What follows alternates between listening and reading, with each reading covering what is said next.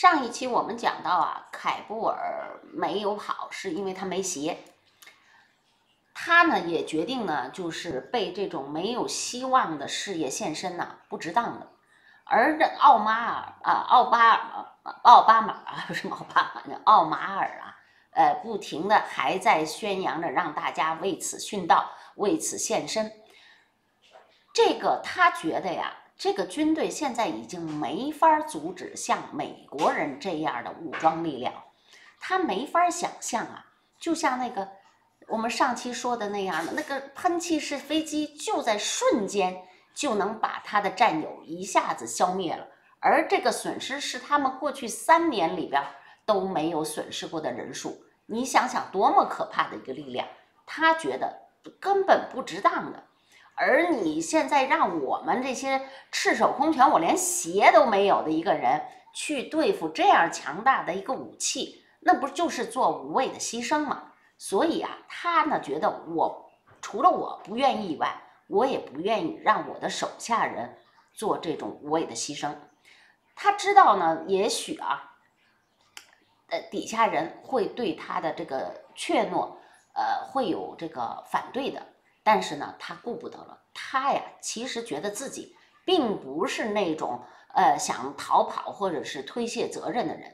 他只是觉得呢，不想让这些人去牺牲，而且他觉得奥马尔这么要求，呃，他从来没见过的人为他的什么所谓的事业或者所谓的什么伟大的呃这个追求去牺牲自己，他认为这是犯罪呢。于是呢，他就把他底下的士兵都聚集在了一起。这时候呢，那个美国的那个喷气式飞机啊，就在他们的头顶上尖叫、呼呼啸着，就这么过去了。完了呢，山谷间又传出各种的轰鸣声和爆炸声，就好像啊，就是世界末日一样。但是呢，又好像是发生在其他的世界一样。这时候，他的所有的手下人啊，就那么泪流满面的看着他，然后呢，他就说一声：“回家吧，赶紧走，大家互相不要再联系。”所有人没有一个人站出来表示反对。到了早上呢，那些好多那个他手里边那个步话机啊，就不停的传来是别的那些指挥官啊。通过这个步话机在那儿喊圣战啦、殉道啊、打异教徒啊什么的啊，这些就在这几年中，其实不断的是在这个通过这个呃对讲机传出来的。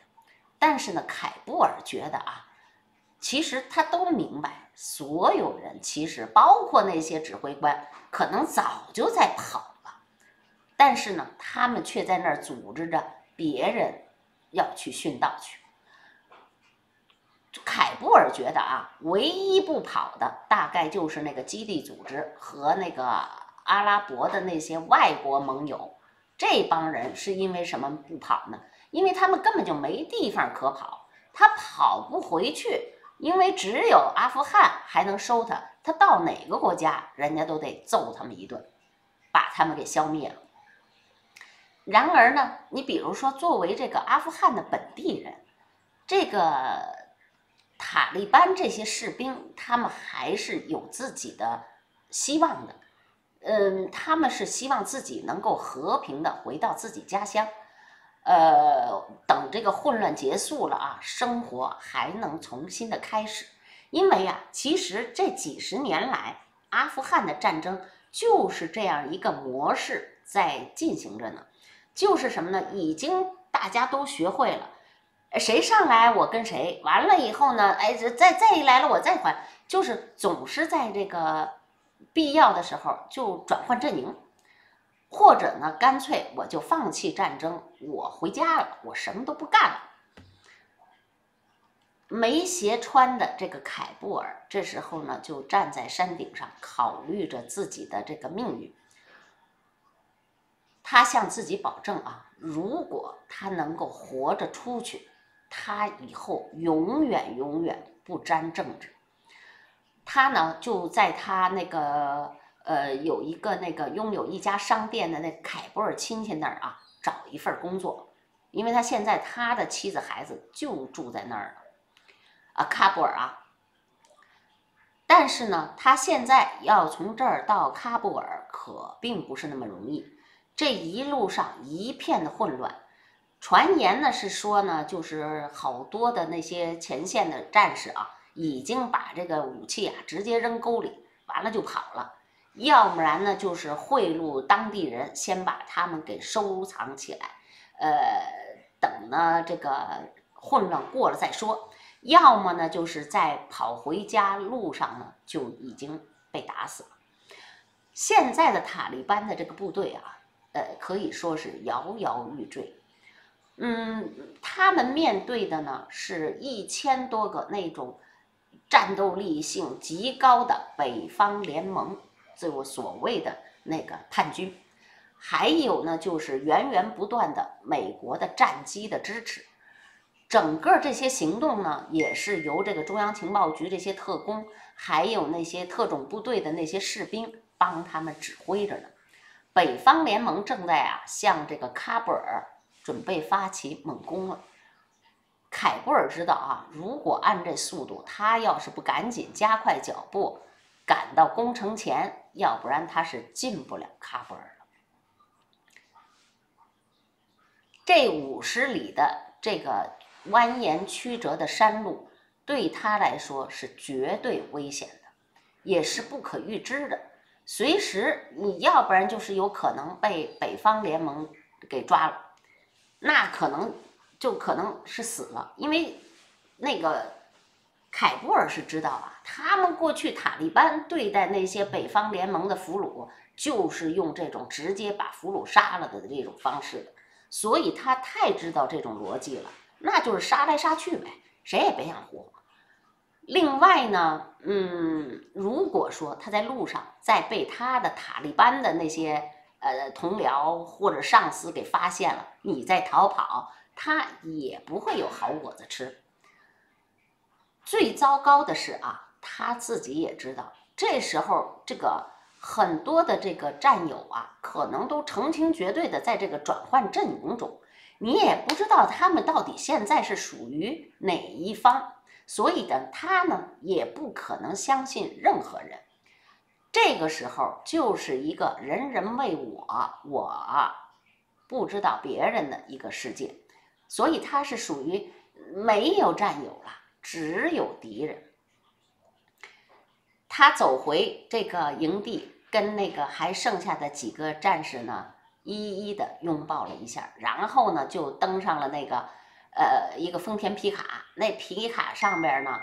呃，刻着呃贴着那么几个字 h a l e x 哎，就是塔利班的那个政府的那意思啊，就贴着那么几个那个那个还还有那字儿，然后他就开车离开了。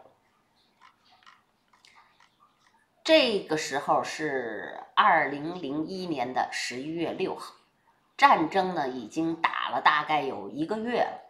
凯布尔啊，这时候开车就穿过一个个小泥巴村啊。你想那那村子全都是泥巴块儿给垒的，那么房子，又经过一些小麦地呀、玉米地呀，他的眼睛这时候一直想的就是盯着路，快走快走。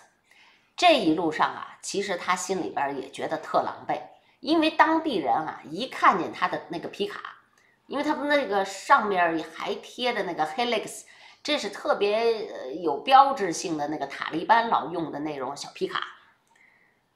一看见这车就向他开枪，甚至啊，他路过的有一个村子，他就看见人家家庭主妇就从那窗户里边向外冲他开枪，所以啊，他也没法停，他只好呢就选择了一条比较难走的一个小路，这样呢尽量避开村庄。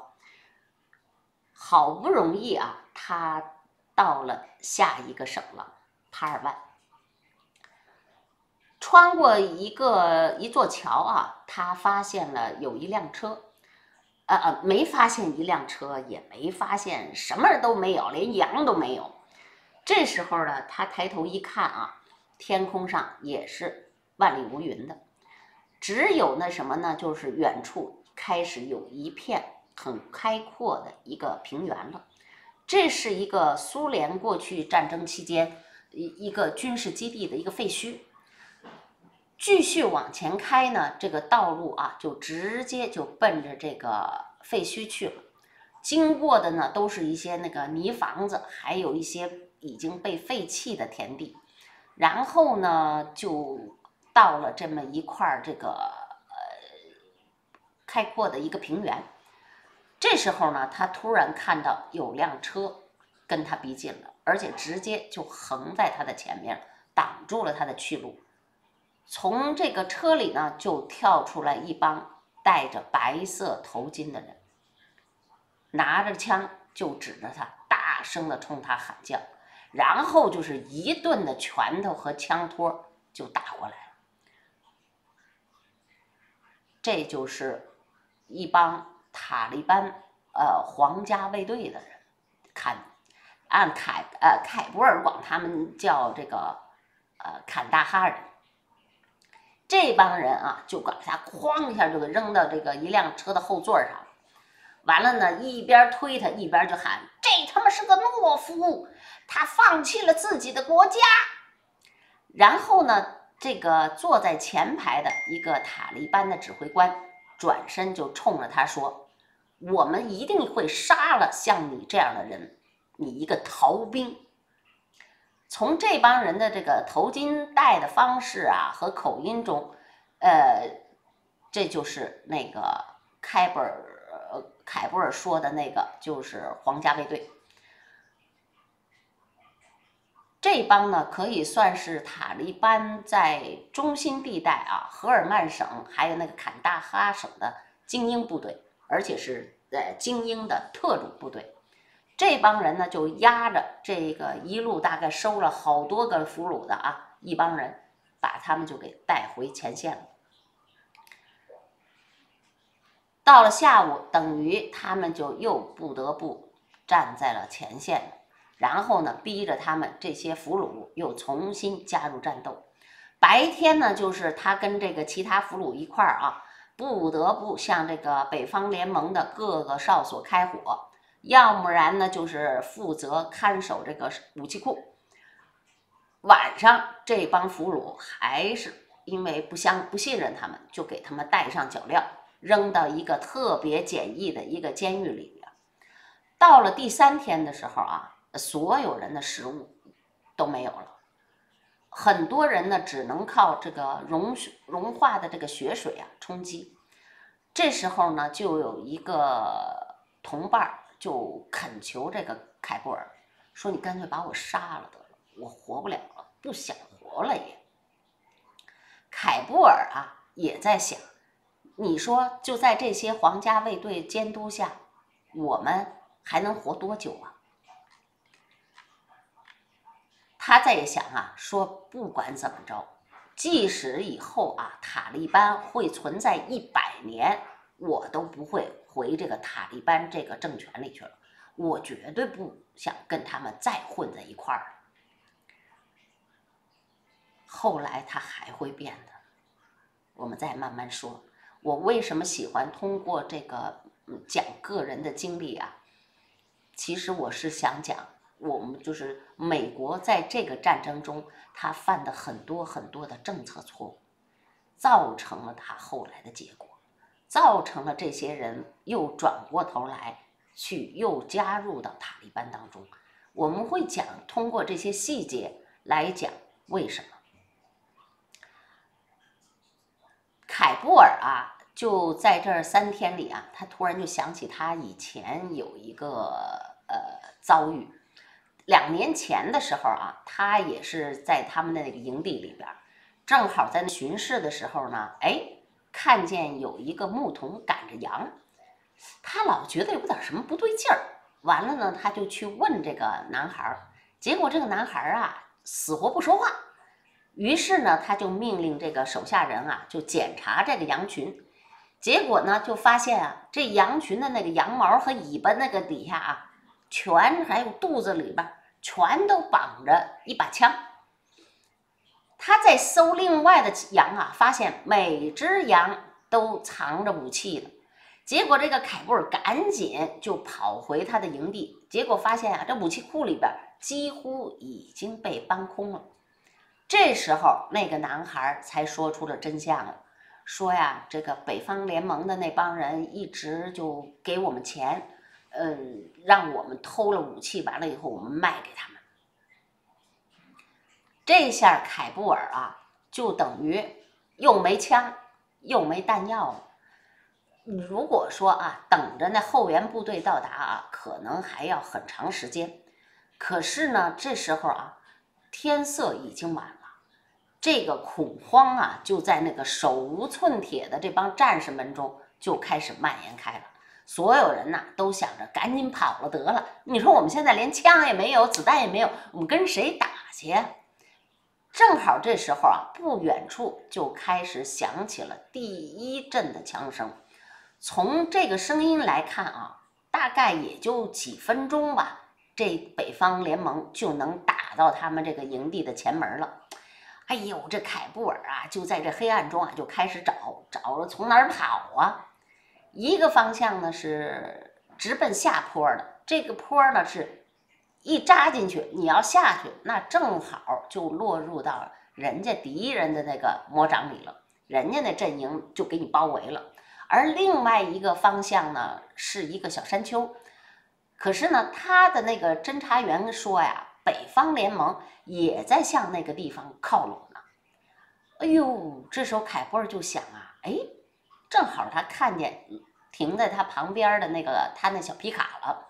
于是呢，灵感来了，他就叫一个他那个底下的一个塔利班的一个战士说：“你啊，开着这车，关上大灯。”你先开到这个山丘上，然后呢，你开着灯再回来，然后呢，你再关着灯再上去，完了你再开着灯下来，就这么反反复复的啊，你就在这条道上啊，你就来回开吧。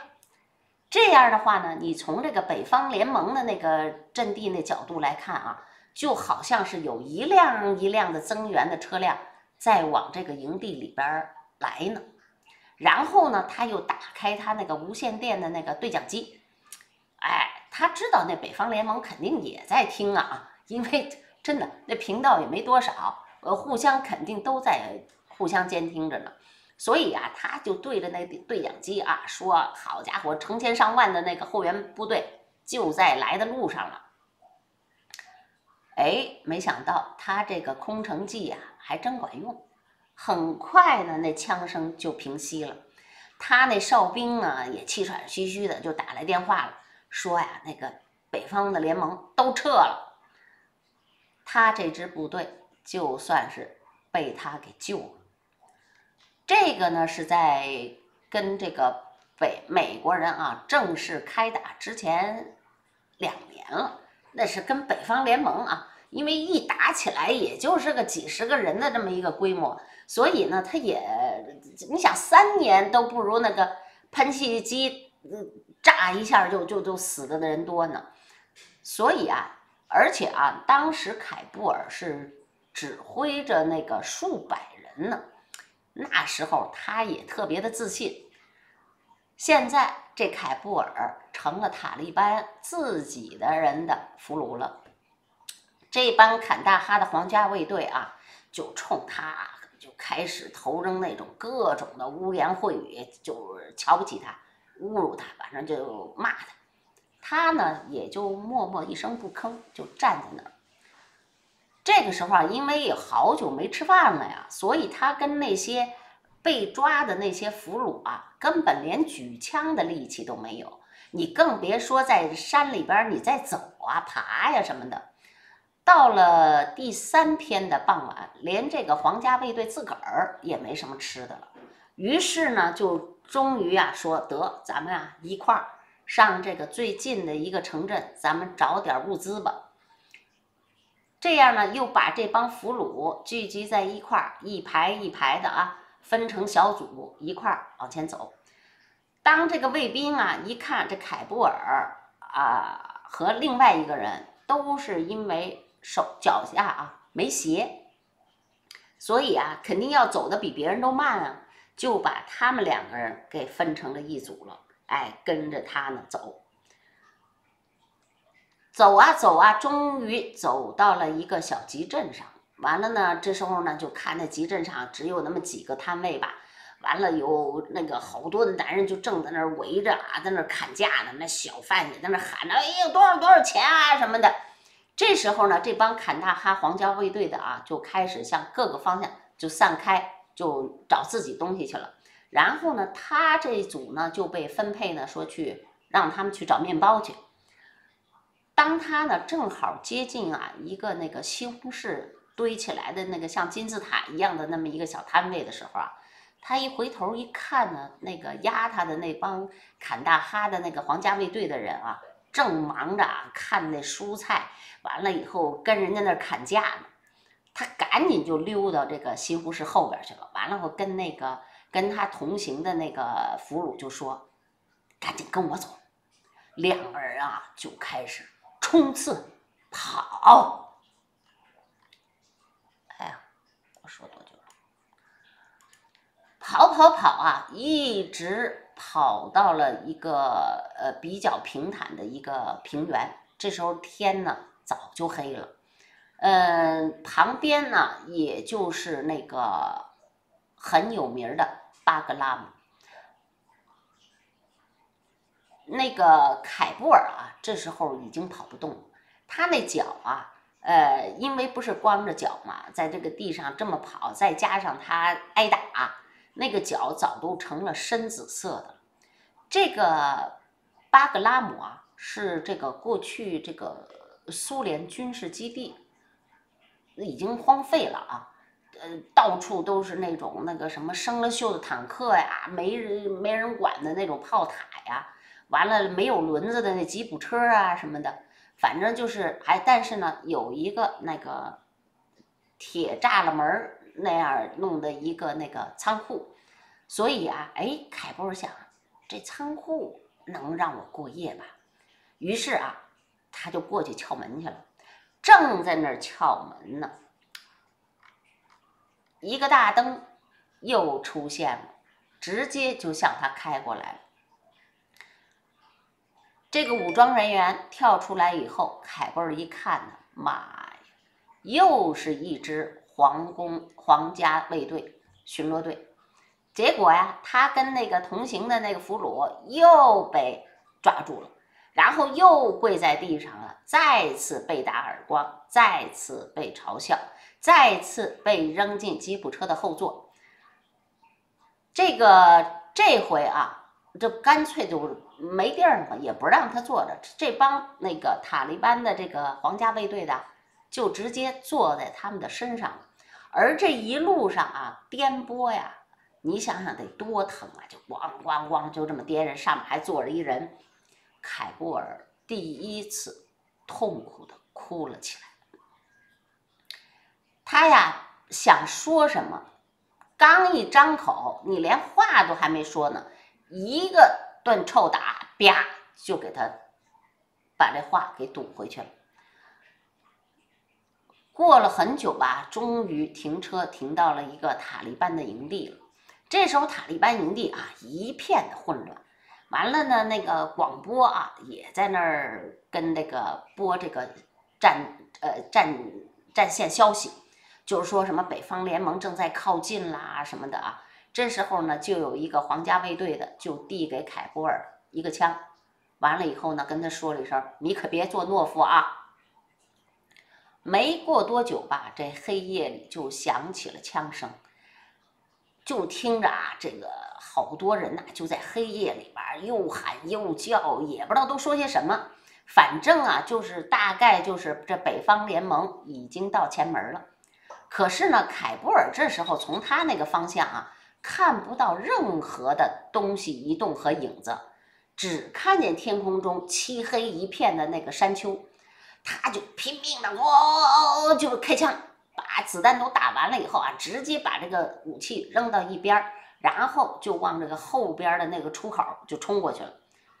刚出这个大门啊，一看路上躺着一双这个从那个旧军靴上啊裁剪下来的那种呃露着脚趾头的那种临时的凉鞋。他终于觉得啊，命运终于站到了我这一边了，我终于有鞋了。穿上鞋，就沿着大路向黑夜继续走过去了。